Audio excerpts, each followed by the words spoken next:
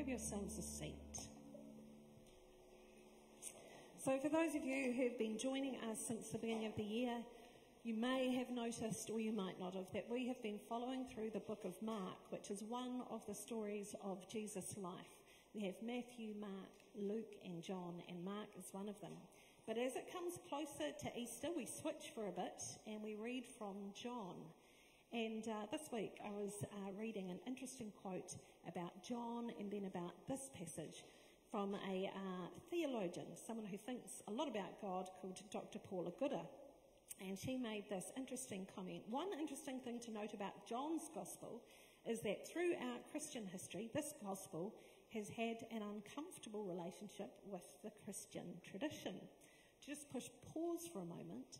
This was the last gospel that the uh, church leaders decided would be included and considered part of the Bible. They weren't sure about this one.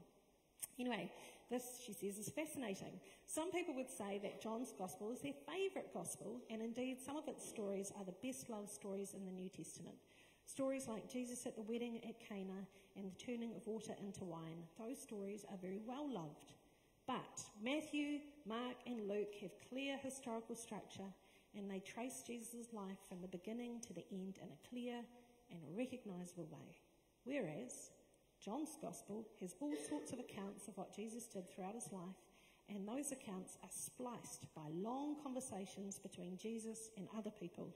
These make, these make John's Gospel hard to read as they meander all over the place and then come back to where they started.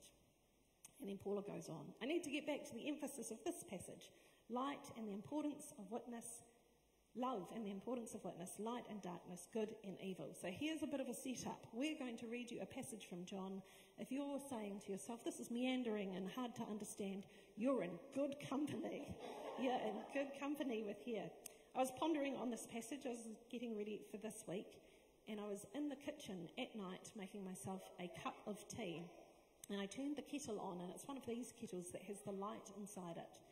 And so, because I had that on, I sort of failed to notice that uh, the rest of the lights were off in the kitchen. Um, I don't know why that didn't occur to me. So I'm boiling the jug, and the jug finishes boiling, and the light goes off, and suddenly I'm plunged into pitch darkness. Now, the sensible thing would have been to stumble across the room and turn the light switch back on, but no. I ploughed through in the darkness and thought I can pour myself a cup of tea in pitch black. It, I didn't get hurt, but there was a waterfall of water cascading all over the kitchen bench as I sort of failed in this mission. And afterwards, I thought to myself, you know what I needed to do? Not go and turn the light on, open the fridge. Because there I would have found light. Anyway, so, this is one of the themes in this passage we're going to pick up today light and darkness. And um, before the part that we're going to read today, um, Jesus is actually talking with a man called Nicodemus. Now, he is one of the religious leaders who spent his whole lifetime dedicating to try and understand what God is doing in the world. Very respected in the religious leaders, and he comes to Jesus in the dark. And John loves to pull out these sort of metaphors. Here's a man coming in the dark, and he's listening to Jesus talk, and he's left in the dark because he doesn't understand. And Jesus is kind of bantering with him. How can you, a religious leader who supposedly knows so much about God, how come you don't understand what I'm talking about? So here is the context of this passage. Jesus is talking to a man called Nicodemus. He's come in the dark and he is confused by what he's hearing. So Jesus starts off with a story that would have been very well known and well loved by Nicodemus and um, his fellow Jews. And then he goes to try and understand and try and explain to him what he's all about. So Jesus says, As Moses lifted up the bronze snake on a pole in the wilderness, so the Son of Man must be lifted up, so that everyone who believes in him will have eternal life. For this is how God loved the world. He gave his one and only Son, so that everyone who believes in him will not perish but have eternal life. God sent his Son into the world not to judge the world, but to save the world through him. There is no judgment against anyone who believes in him, but anyone who does not believe in him has already been judged for not believing in God's one and only Son. And the judgment is based on this fact God's light came into the world, but people loved the darkness more than the light, for their actions were evil. All who do evil hate the light and refuse to go near it, for fear their sins will be exposed. But those who do what is right come to the light so others can see what they are doing, that they are doing what God wants. So here Jesus is restor- uh, referring to a story of when the Israelites had fled Egypt, the house of slavery, and they were in the wilderness and they were waiting to get to the promised land, this place of paradise where God wanted to bring them and establish them as a nation. But there's a long gap. They've left slavery, they're in the wilderness, and they are famous for whinging and complaining while they are in the wilderness. Probably like some of us. Anyway, so here they are, and snakes come and attack them, and some of them start dying. And then again, Moses, what have you done? Why did we have to leave Egypt? It was better there than coming out into the wilderness and dying. And Moses says, Well, God, what am I meant to do about this? And he says, Take the snake, the very thing that's killing them, put it on a pole and tell them to look at it. And if they look at it, they will live. Now, this story is filtered into our own culture through our symbols in medicine. You might have seen this. This is what it's referring to, and it's often uh, used in medical settings a snake on a pole. Now, recently, I was encouraged by Carolyn Swift, who's often greeting people at the door, to watch The Good Doctor. And so I binge watched it for a while until I realised I was wasting a lot of time. And so then I just went online and read the episode summaries. and I broke that addiction. but anyway, there's a character, Dr. Andrews, and he always wears this. I don't know why, not all the doctors do, but there he, he has it. If any of you are fans of the show, look out for that wee fun fact. Here is the symbol, and it's a symbol now in our culture of healing. A really unusual symbol. Here's a snake that kills you, is now translated into a symbol for healing. I read a little uh, quote about this. I read a few quotes this week that were so good. I'm going to include them. But this is from a, um, a guy called Lance Pape, and he says this Just as the Israelites were paradoxically or confusingly required to look upon the very thing that brought death in order to receive life, so we are asked to look upon Jesus lifting up and humiliating crucifixion and receive it as part of God's plan to glorify Jesus and save the world. Interesting thought that he brings in here. Jesus is being humiliated on the cross. And this is where our salvation comes from Jesus' humiliation, his death in one of the most embarrassing, awful ways ever devised in all of human history. This is Jesus on the cross, and we are encouraged to look to that to find our salvation, to find love and forgiveness and the path to go forward. I want you to keep that in mind this idea of the humiliation of Jesus as we go through this passage a little bit. After Jesus has used this reference for Nicodemus, remember the story in your tradition where Moses lifted up a snake, the very thing that's going to bring death, to bring life. And then he pulls out what is now the most beloved verse in the Bible For God so loved the world that he gave his only Son, so that everyone who believes in him will not perish but have everlasting life. It's interesting in the passage, the translation that I read earlier, it changed those words slightly, and I don't know if you picked that up. There's a reason for that.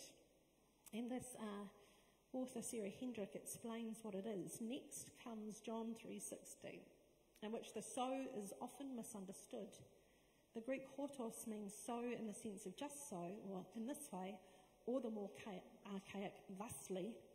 We could translate the verse as, This is the way God loved the world, with the result that he gave his only Son in order that whoever believes in him should not perish but have eternal life. John 3:16 is not about how much God loved the world. It is about in what way God loved the world. How did God love the world? He entered into it as a human. This week, being exhausted from camp, I did do a lot of binge TV watching, having no energy for anything else, but I did watch the incredible movie The Boy with Striped Pajamas. Has anyone seen this? If you haven't, I am going to ruin the ending for you. Um, this beautiful story of an eight year old boy, Bruno, his father is a soldier in the German army in World War II, and he is redeployed to run one of the prison camps that is killing Jews. And so his house is quite close to the prison camp. And wee Bruno, eight years old, is told to stay in the front yard. He's never allowed to drift. They don't want him anywhere where he might see what's going on. But he's adventurous, he's curious, and he finds his way out. And he goes to the edge of the prison camp where he meets another eight year old boy, Schloll. And they sit and they talk, and a friendship develops. And then Bruno wants his new friend to come home with him. Come and play with me. Schloll says to him, I can't because of these fences. Bruno realizes that he can go in. He can go into the prison, and so he gets a shovel and he goes back and he digs a hole and he makes his way into the prison camp where he's dressed in the correct clothes. And the very day he goes in is the day that they round up that bunk room and send them to the gas chambers. And I thought, this is a picture of what this passage tells us. This is the way that God loves the world. In this way, Jesus becomes a human and enters into a world that rejects him, that eventually kills him in the most brutal way ever devised. This is how God loves us. This is who we worship a God who is not afraid of humiliation. Go back to Lance Pape, he says this The context suggests that the truth about God's purposes in Christ is confusing and troubling, not obvious and not cross stitch worthy. How many of us have had John 3:16 in a poster somewhere attached to the fridge? Lance Pape saying that's not how we should read this. God loves us in this way that he becomes a human. You think of all the ways that God could have chosen to save us from the consequences of our own stupidity, from the consequences of our own willful uh, sort of pride, the way we hurt others, the consequences of the way we have been hurt by others. Our shame, our pain, our sin, God could have chosen all manner of ways to rescue us from that. And this is how much God loves the world. This is how he shows it. He becomes a fellow human being. So, as I was standing making my cup of tea, and as I was then standing in the dark, this is what I was pondering this idea that God humiliates himself for our benefit. And I was reminded last year, I quoted from a book, um, The God of Heaven, and it was a story uh, collated stories of someone who researched people who had had near death experiences. And he asked them to say what, what happened to them, what did they find on the other side. And they described, no matter what religion they're coming from, what background, a being of light and love. And that's pretty consistent. This eternal being that we describe as God, this is God, light and love. But he also says there's a common other theme that emerges and that is about a God who is humble. People encounter the creator of the entire universe and they're struck by how humble this being is. And this is the story. God is humble. I don't know if you grew up in Sunday school, if you ever heard the stories um, that, you know, the devil became the devil because of his pride. And he marveled at his own beauty and his own brilliance and said to God, You know, enough of you. I'm just going to go it alone because I am brilliant in my own right. And this is this huge contrast a humble God full of light and love, and a being full of pride and obsessed by their own brilliance. And this is what we are invited to consider when we look at the cross. Here is the God who humiliates himself, and this is what we're asked to look at. This is this moment to confront our own pride, our own striving to be brilliant, our own desire for everyone to notice how incredible we are. And as we look at the cross, we see a different path. We see an invitation to humility, to servanthood, to incredible love for others. And this is the invitation this Easter Look at the cross and ponder this is how God loves the world. And just as the Israelites had to look upon the snake, the very thing that killed them, we too are invited to look upon Jesus on the cross and put to death our own pride, our own lust for power, the way we hide our faults and our flaws from others. I think one of the confronting things about being a human is that we all have pride and we all try to pretend we don't have pride. And this is the invitation this Easter to confront it, to face it. The early Christians had a song that they sung, except they didn't really sing like we know, they would sort of chant sing. And they used these songs because a lot of them couldn't read to remember the important things about their faith. And the oldest song that uh, we think we know about is captured in Philippians chapter 2. And this was what Christians sung to remind themselves about what Jesus was all about. The words are this You must have the same attitude that Christ Jesus had. Though he was God, he did not think of equality with God as something to cling to. Instead, he gave up his divine privileges. He took the humble position of a slave and was born as a human being. When he appeared in human form, he humbled himself in obedience to God and died a criminal's death on the cross. This is who we are invited to follow. This is who we're invited to serve. And this is who we are invited to trust in for our future and to guide us every step of our lives. Let's now spend some time just in quiet, wrestling with this before God, and then we'll pray together. Jesus, we have used this verse without thinking, and yet it represents so much more. God, we just take this moment to come before you and to wrestle with what we are hearing. Speak to us and challenge us, I pray.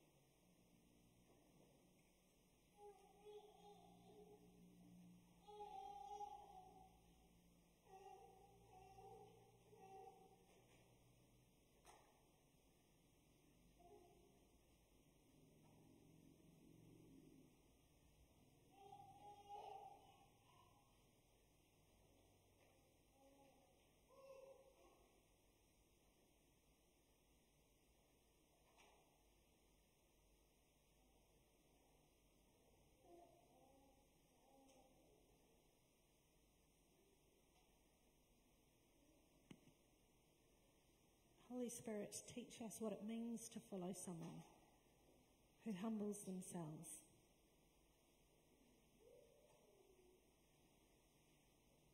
Challenge us, inspire us, propel us into the life you want us to live. And as we face situations in our home, in our work, in our study, guide us and teach us how to follow you more closely. Amen.